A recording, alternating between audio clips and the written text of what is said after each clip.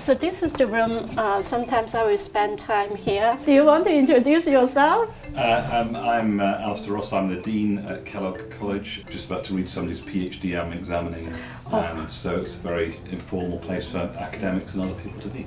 My first day here, I cried because I thought I don't belong here. What, what is this place? Oh my God! Kellogg is the largest graduate college we have uh, more than 200 full-time students and about 600 part-time students. Many of the traditions are evolving, which means both students, both fellows and the academic staff here all contribute. It's introduced a set of values which have to do with the openness of higher education and the high standards being actually accessible for a wider population. It's a college that I think has got a great future.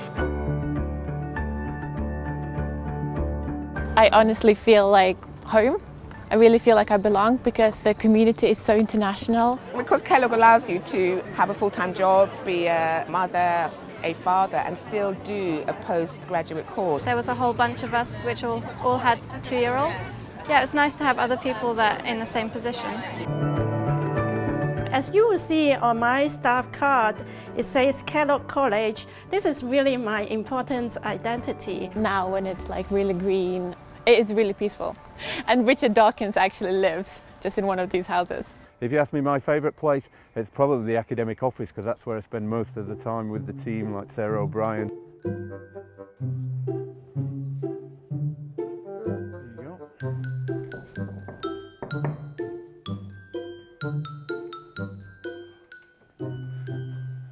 out.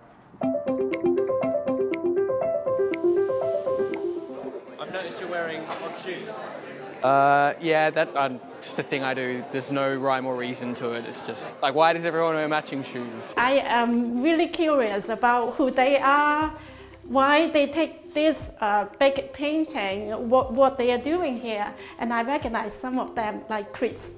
There you go, Sarah Uh, academic administrator. We have a very unusual Oxford offering, it's very different. What's great for us is what we sometimes forget is that we're not hampered by tradition, so we can make up our own traditions as we go along.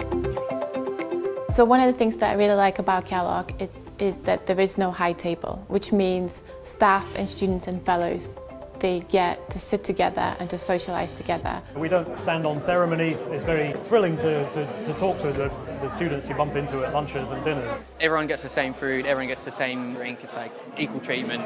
And I think that speaks a lot about like the community spirit we have here at Kellogg. The one problem I would say with the food is it can put too much weight on you because it's too good and that's the evidence-based perspective in me speaking.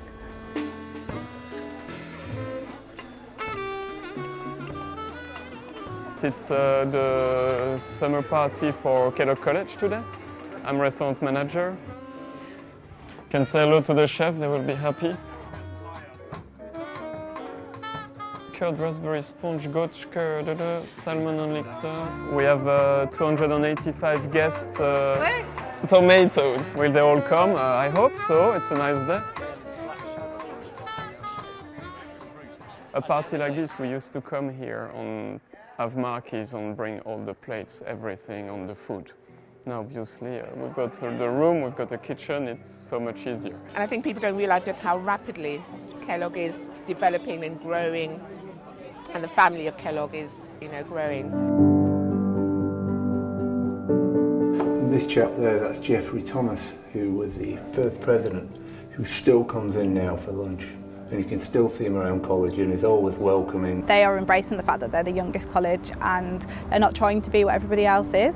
And as I say there's anything wrong with the way that everybody else is, but there is room for something different and that's Kellogg. There's a whole team of academic administrators who work really hard. It's been a great honour for me to be asked to be the senior tutor at the college. It's still changing and seeing Kellogg grow, I feel that I'm growing with it, really. It doesn't matter what stage you are at in life, like if you have that desire to keep learning, if you're young at heart, then I think Kellogg is a very welcome home for you here at Oxford.